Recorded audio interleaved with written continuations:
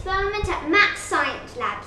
Today's experiment is also focused on chemistry and is called the hard and soft water experiment.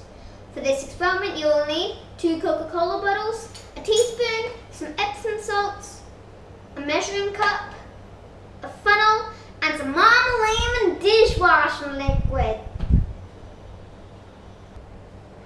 First things first, I'm going to pour two cups of water into both the Coca-Cola bottles using this measuring cup.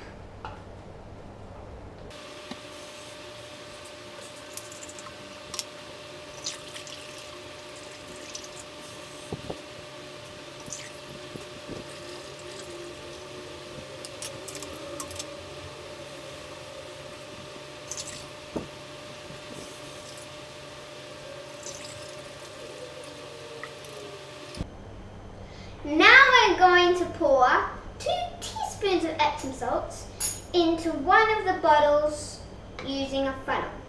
Then I will take off the funnel and pour five drops of this Mama Lemon dishwasher liquid into both of the Coca-Cola bottles.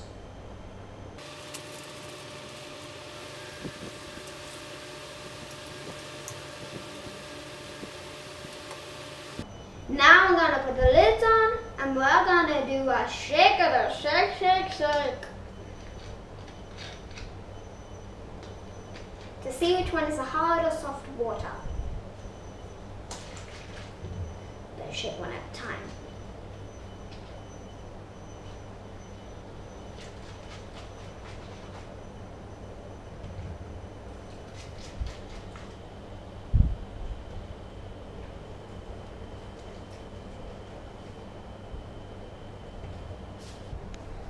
As you can see, the one with more bubbles has no Epsom salts in it, which makes it the soft water, which means this is the hard water. Epsom salts make the water hard because it brings minerals in it.